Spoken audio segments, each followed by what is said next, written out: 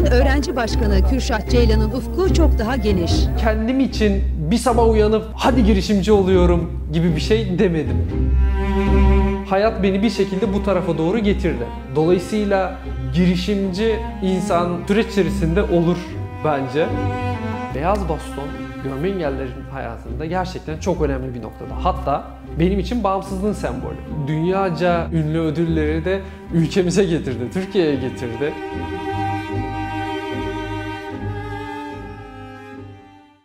1986 Ankara doğumluyum. Doğuştan görme engelliyim. İki kardeşiz. Bir de abim var. O da görme engelli. Dönüp böyle çocukluğuma baktığımda hep hatırladığım çok neşeli bir çocukluk. Aslında bilirsiniz Türk aileleri çok koruyucudur çocuklarına karşı.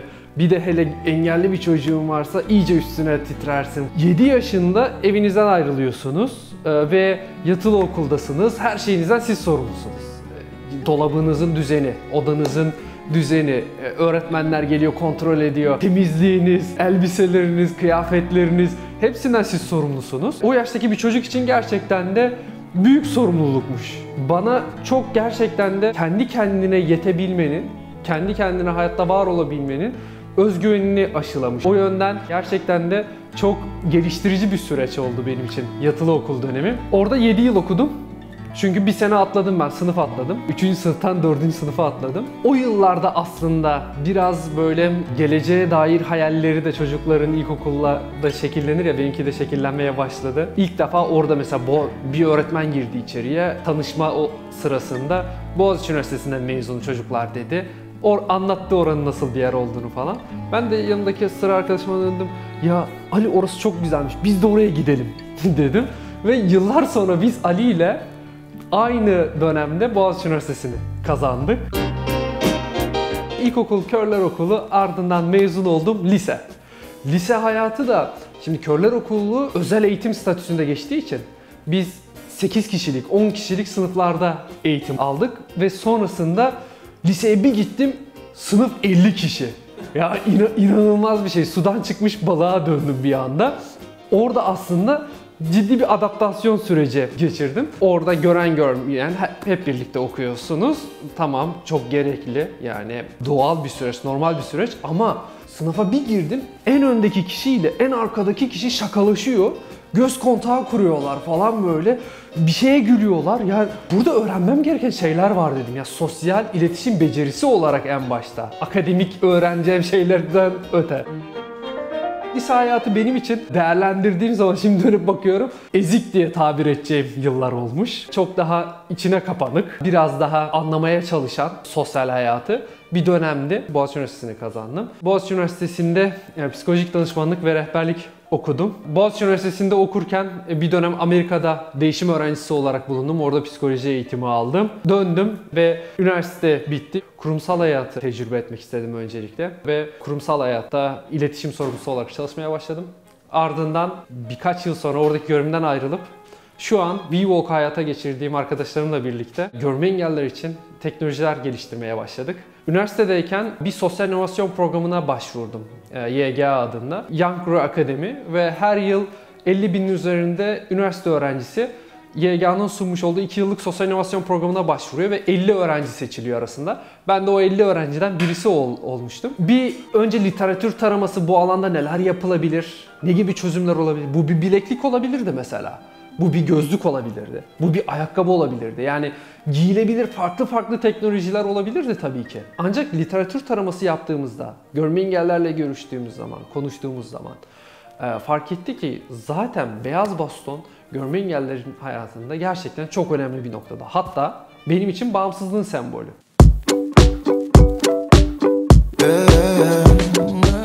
Bundan 3 yıl kadar önce ben Birleşmiş Milletler'de konuşma yapmak için New York'a gitmiştim. New York'a indim, havalimanından otele gidiyorum. Otele giderken de tek elimde baston var. İşte bastonla önümü kontrol ediyorum. Diğer elimde telefon var. İşte gitmem gereken yer navigasyona bakıyorum. E bir yandan da valizi çekmem gerekiyor. Şu üç parmakla da böyle valizi çekmeye çalışıyorum. Üçü bir anda. Bir yandan da etrafımı dinlemem gerekiyor falan. Bütün bu kaos içerisinde böyle bir anda tak diye kaldırımda bir tane direk dikmişler ve direğe çarptım. O anda tabii ki şey oldu böyle işte kafa, gördüğünüz çeşitli izler çıkmaya başladı. Bu aslında sadece benim yaşadığımda sorun değil.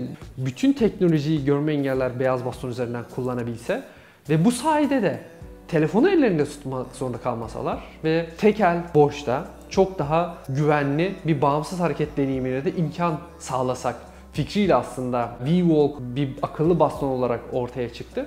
Ee, ve bu da aslında bir ARGE sürecinin sonunda olduğu için anlık bir evet bulduk gibi bir durum olmadı. 9 ay kadar sürdü. Bunun üzerine çalıştık. VWalk'un üretimi kısmında Zorlu ailesinin çok önemli desteği oldu. Çünkü yenilikçi bir teknolojiyi ortaya koyabilirsiniz. Tamam, güzel, e, geliştirdiniz bir şeyler, fikir ortaya koydunuz ama günün sonunda bu teknolojiyi üretmek için bir fabrikaya ihtiyacınız var. E, o noktada da bu kadar güzel, anlamlı ve yenilikçi bir teknolojinin e, hayata geçmesinde biz de Vestel olarak bulunmak isteriz dediler. E, bizim için o yüzden Vestel'in yeri çok ayrıdır. E, Zorlu ailesinin yeri çok ayrıdır. Şu ana kadar e, VWalk 59 farklı ülkede binlerce görme engelli tarafından kullanıldı. Kullanılmaya da devam ediyor. Tabii ki hedefimiz burada çok daha fazlası. Dünyada 253 milyon görme engelli var ve biz daha yolun çok başında olduğumuzu hissediyoruz. VWalk yolculuğuna 4 kişiyle başladık. Şu an 3 farklı ülkede Amerika, İngiltere, Türkiye'de 3 farklı ofiste 23 kişiyle devam ediyoruz. Bizi en mutlu eden yanlardan birisi de VWalk tüm bu yolculuğu boyunca dünyaca e, ünlü ödülleri de ülkemize getirdi, Türkiye'ye getirdi. İlk defa Thomas Edison Vakfı tarafından verilen Edison İnovasyon Ödülünü VWalk kazandı. E, Time dergisi tarafından yılın en iyi icadı seçildi. Japonya'da aynı şekilde yılın en iyi teknolojisi seçildi.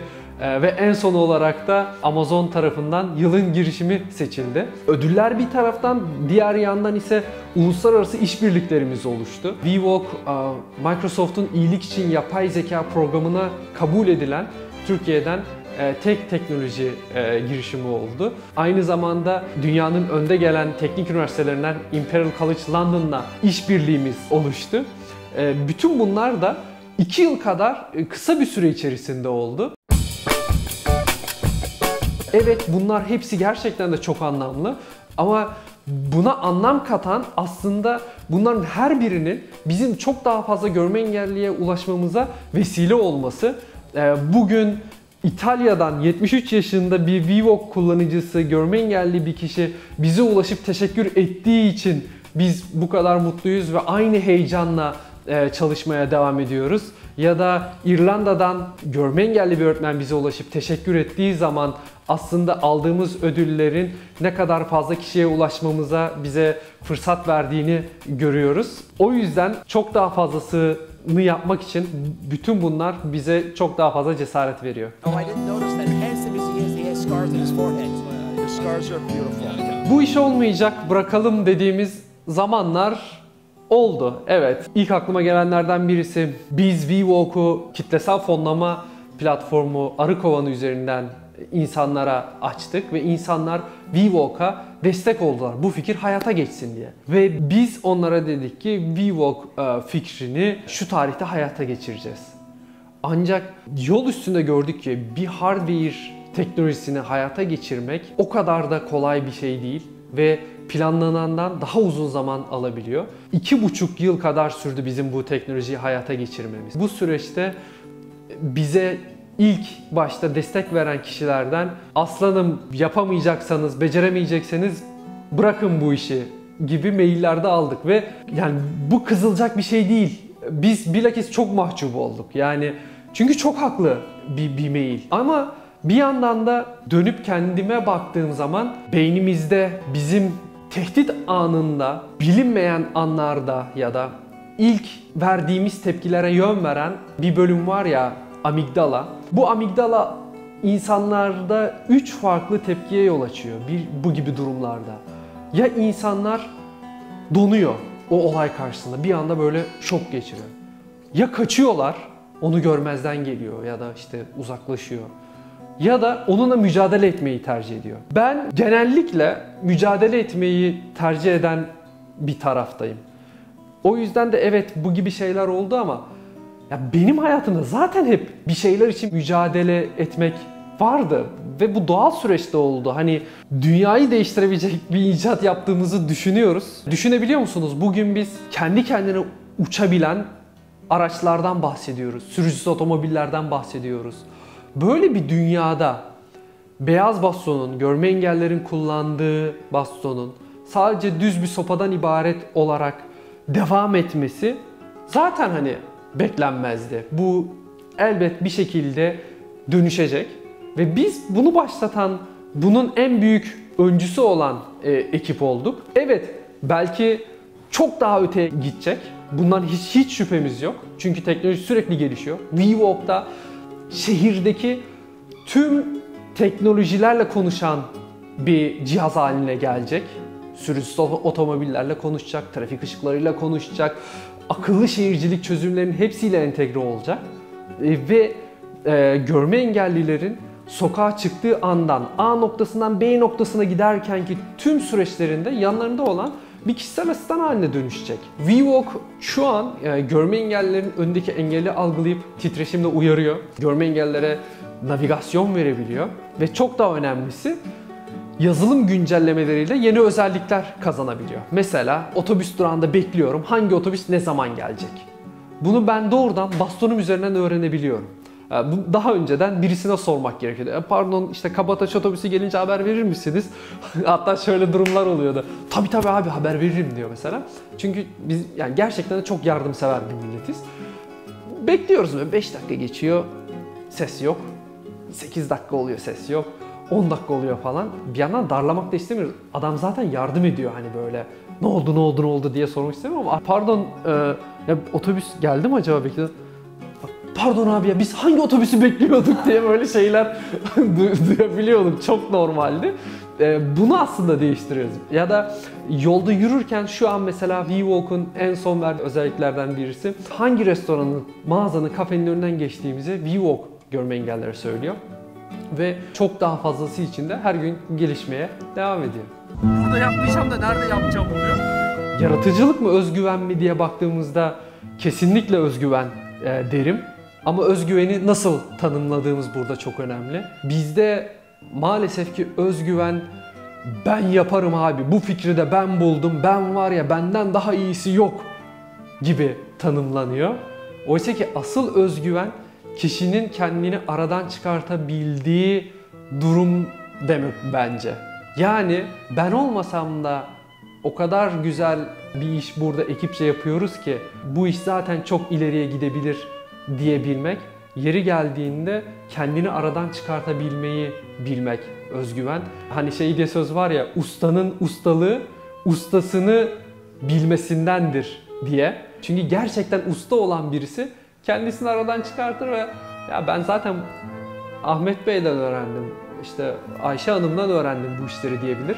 Herkes kendisini aradan çıkartmış insanların hayaline ortak olmak istiyor.